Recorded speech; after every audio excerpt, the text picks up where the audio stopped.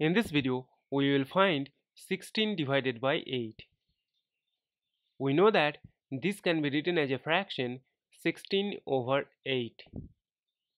Now we will write 16 as 2 times 8 and we have 8 in the below.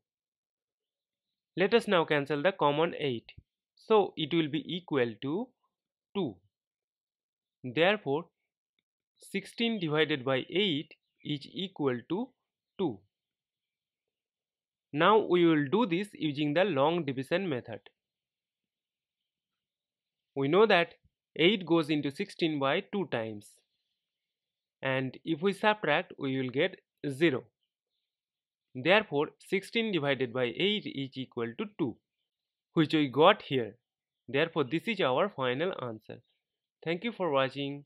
Please like, share and comment on the video. Also do subscribe the channel.